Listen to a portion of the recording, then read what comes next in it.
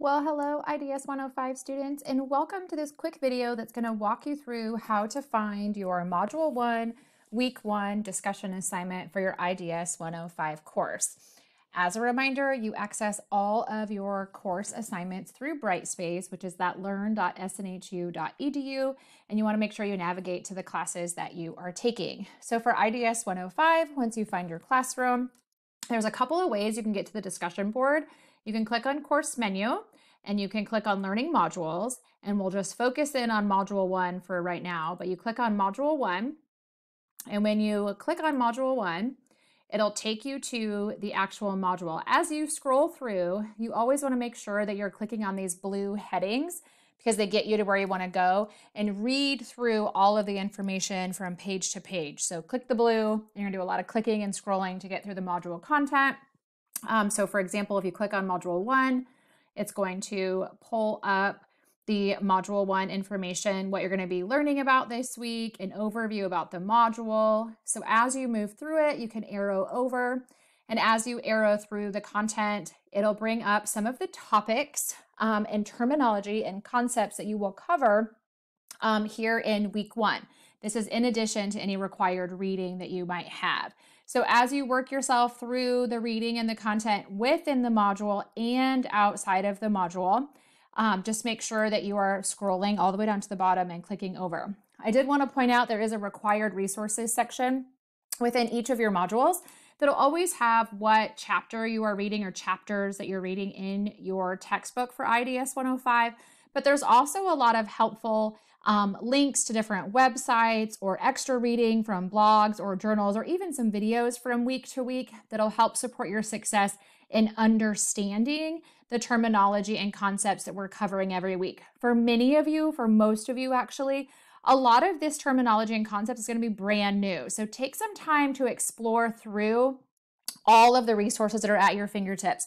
I know that there's a lot of text on the pages in addition to what you're reading in your textbook, but it is worth your energy and it's time well spent for your success. So as you arrow over, you can also get into the discussion board right here. So you'll notice it's 1-1 discussion, exploring your identities. It'll list an overview of the discussion. It'll give you your initial post. That is what is always due on Thursdays by 11:59 p.m. every week that you have a discussion assignment. For your very first week, module one, week one, it's due at 11:59 p.m. East Coast time. So this initial post, those are the questions that you're answering and sharing your perspective, your experiences, your thoughts. You also will be responsible for every week that you have a discussion assignment to respond to at least two of your classmates.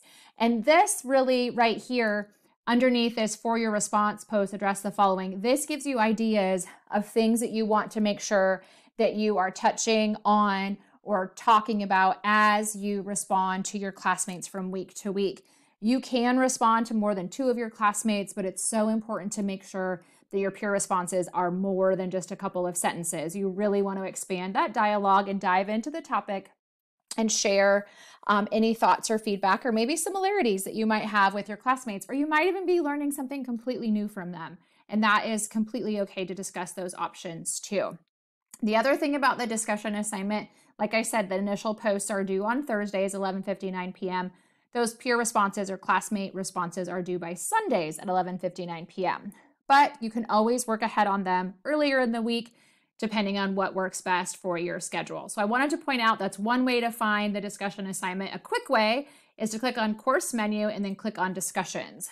When you do that, it is going to pull up the class discussions from week to week. So you will see a general questions area. This is really for any general questions or concerns regarding the course. This is not for you to ask about like what grade you might have gotten or to upload any assignments or anything like that. Anything that is personal, you want to always make sure that you email your instructor on those questions. This is just for general questions that you might have or general thoughts or feedback about the class, okay?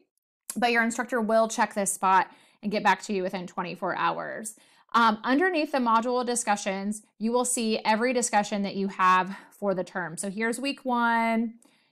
Um, then you have your week three, and then you'll have week four, week five, week six, week seven is non graded, and then you'll have week eight. So they're all right here, so you can see them.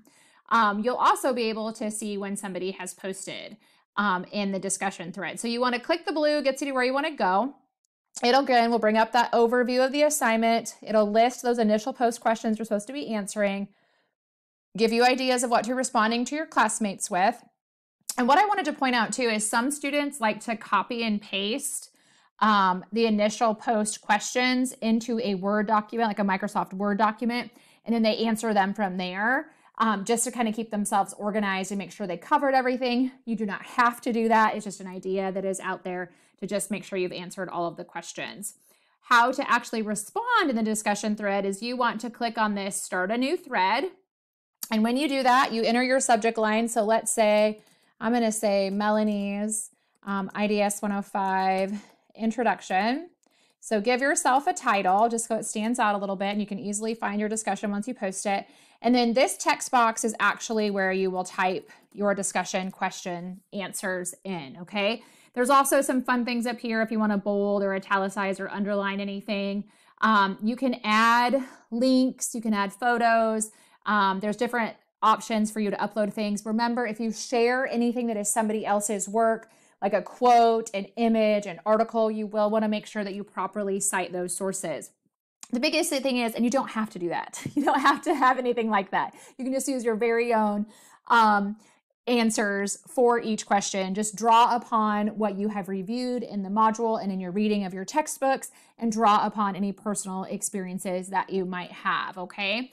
Once you answer those questions, you will type right in here. You will just click on post. Once you post your discussion, you should be able to go back, refresh, go back into the discussion board, and you'll see your discussion.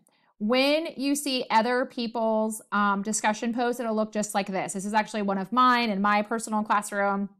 Um, I posted in the discussion board. So you can just click on the blue, it'll get you to where you want to go. So if you were responding to somebody, you would open up their post, pretend this is a classmate's post. You would read what they had to say, right? Um, and then you would click on reply to thread, and then you would be able to type your response right here to your classmate. So it's super helpful too, you know, if you, I was responding to um, Claire, I would say Claire, and then type my thoughts and feedback to that um, classmate, and then you just click on post. Remember, initial discussion post is due by Thursdays, 11:59 p.m. Your first week, it's East Coast time. After that, it goes to your time zone, and then those peer responses are due um, on Sunday. So, just to recap, that's two easy ways to find the discussion assignments in your course from week to week. If you ever have questions on anything, please do not hesitate to let us know. Uh, we are so excited for you to kick off this first week. You got this.